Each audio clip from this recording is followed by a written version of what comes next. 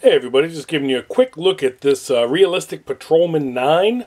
Uh, it's a vintage uh, radio here from Radio Shack.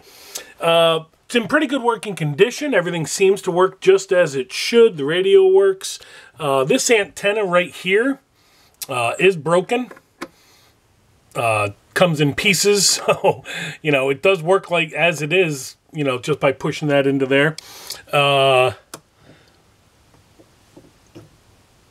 battery operated. If I can tune anything in.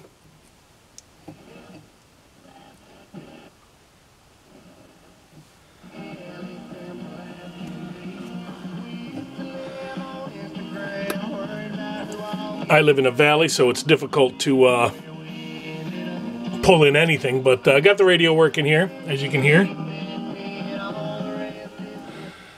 When it's plugged in, it's uh, running on batteries right now. When it's plugged in, there's a light there, a light there, and a light there.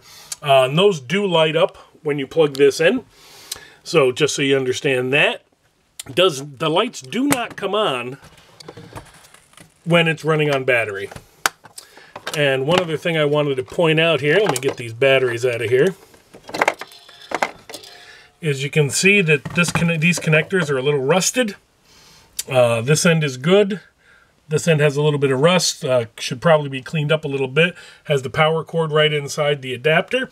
And that's about it. Just wanted to show that, uh, show you that this is in good working condition. And again, this is the Realistic Patrolman 9 model number right there, 12759A.